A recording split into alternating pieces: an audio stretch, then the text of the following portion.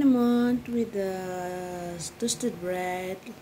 Come with coffee with me. Bye bye.